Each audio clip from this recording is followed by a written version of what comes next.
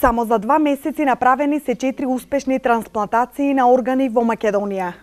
За три години, почнувајќи од 2011 извршени се 110 трансплантации, меѓу кои и трансплантации од починати. Вака изјави професор доктор Любенко Тарпеновски на вчерашното предавање на тема Дарувајте орган, подарете живот. Според него, Македонија е на петто место во Европа и на девето место во светот по бројот на трансплантации од живи дарители. Направивме успеси со кои тогаш дури прееуфорично се пофалиме, се гордеевме дека дојдовме на петто место во Европа, а на девето место на свет по број на трансплантации од живи дарители по број на на милион популација, значи на милион жители од 2011 кога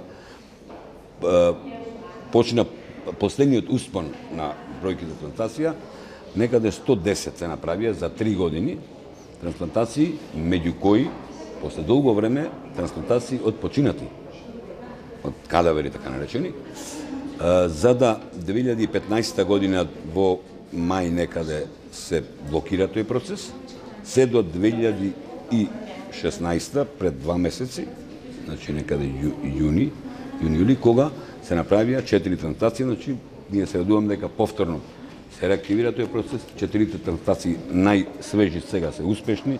Контактиравме пред неколку дена со четвориста пациенти и со нивните дарители, сите се добри и родителите и пациентите, така да очекуваме дека дека нема да има таков дисконтинуитет, бидејќи во овој процес на вистина дисконтинуитет е тешка работа и многу тешко кога се сопрете нешто, многу тешко се се подигнува и се враќа на стари позиции. Во рамките на проектот Дарувај орган подари живот, Обштинската организација на Црвен крст Струмица свој придонес даде преку организирање и успешно спроведување на предавања кај општата популација.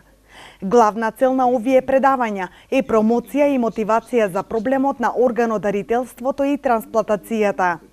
Денеска се одржува предавање на тема Дарувајте орган, подарете живот, на кое присуствуваат и се повикани а, буквално сите институции во а, Обштина Струмица.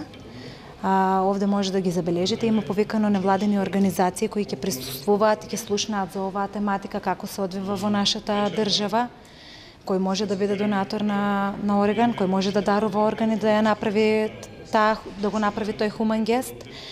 Денеска на акцијата покрај тоа што ќе се поделуваат флаери, ќе има поделено и анкети по самото население за да се види како всушност се запознаени граѓаните во општина Струмиц и колку се запознаени со самата тематика. Се надеваме на одличен одзив и а, на добро поминато предавање од страна на професорот Любенко Трпеновски со што ќе се информираат што поголем број на граѓани околу оваа тематика. Законот за трансплантација на органи и ткива предвидува сите државјани на Македонија да може да даруваат органи по смртта, а последниот збор за тоа дали ќе се донираат органите го има семејството. Инаку во Македонија првата трансплантација на органи, поточно на бубрези, е направена 1977 година.